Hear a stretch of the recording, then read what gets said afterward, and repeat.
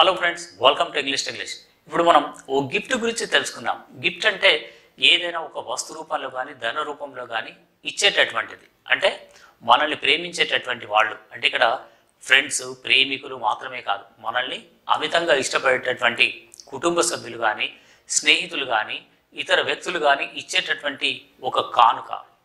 ఇది ఖరీదైందా లేదా తక్కువ రేటుతో ఉందా? అది మామూలు వస్తువా?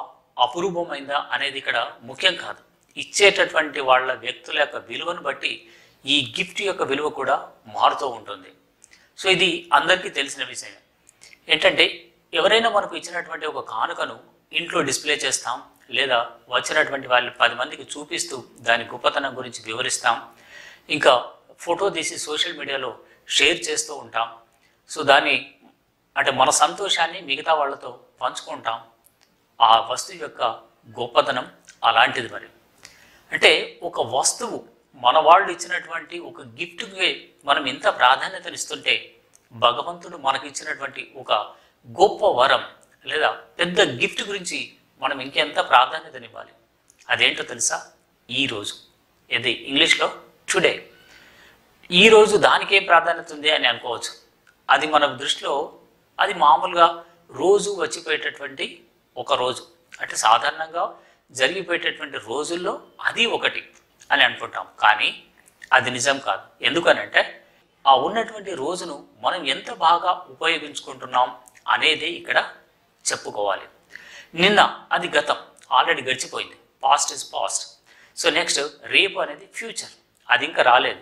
అంటే రేపటి మాటకు రూపం లేదని అంటాం. సో ఆ భవిష్యత్తు అనేది మన చేతుల్లో లేదు. గడిచిపోయింది మన చేతుల్లో లేదు. కానీ ఈ రోజులో మనం ఎలా ఉపయోగించుకోవాలనేది ప్లాన్ చేసుకొని వర్క్ చేస్తే భగవంతుడు ఇచ్చిన ఈ గొప్ప వరం మనకు ఎంతగానో ఉపయోగపడుతుంది.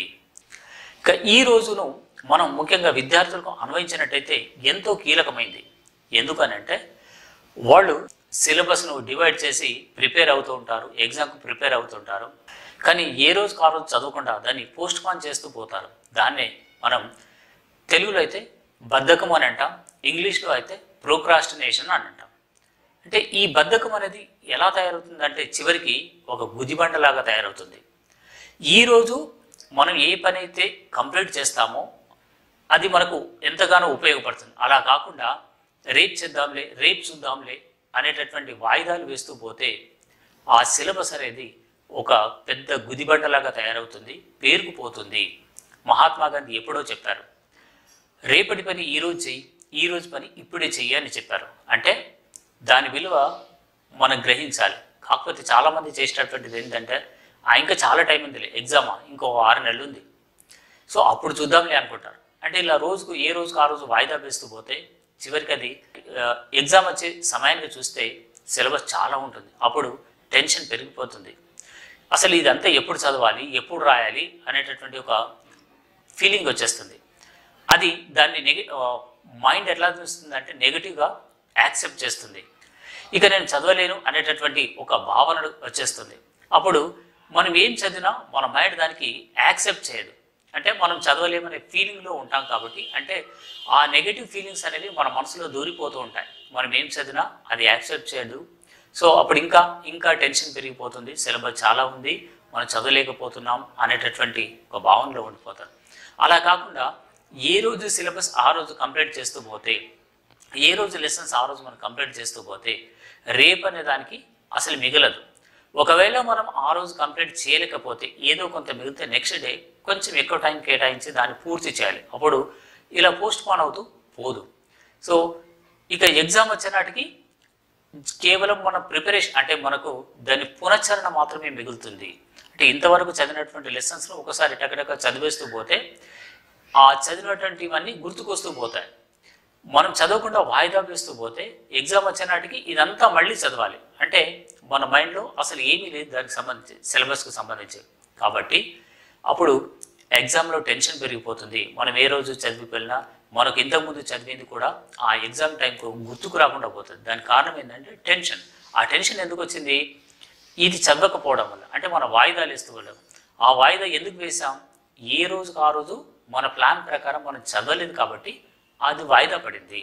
సో అందుకే అంటే భగవంతుడు ఇచ్చినటువంటి ఈ పెద్ద గిఫ్ట్ను లేదా వరాన్ని మనం సరిగా ఉపయోగించుకోకపోవడం వలనే అసలు సమస్య వచ్చింది. సో మనం ఈ ఒకదానికి ఒకటి లింక్ అనేది ఉంటుంది కాబట్టి ఈ రోజు అనేటటువంటిది అత్యంత కీలకమైంది.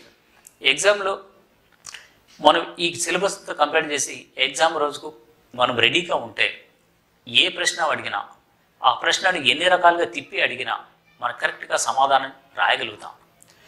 కానీ ఒకవేళ ఎగ్జామ్లో మనం సూటిగా అడిగినా సరే మనం చదవలేకపోతే ఆ సూటి ప్రశ్నను కూడా ఫేస్ చేయలేం. అందుకే ఏ రోజుకు ఆ రోజు సిలబస్ అనేది కంప్లీట్ చేయాలి. ఎప్పటికప్పుడు కంప్లీట్ చేయాలి. సో అప్పుడే విద్యార్థులకు ఎలాంటి టెన్షన్ ఉండదు. ఏ రోజు ఎగ్జామ్ పెట్టినా టెన్షన్ ఉండదు. ప్రశ్నలు ఎన్ని రకాలుగా అడిగినా టెన్షన్ ఉండదు. ప్రశ్నకు సరిగ్గా జవాబు రాయగలుగుతాం.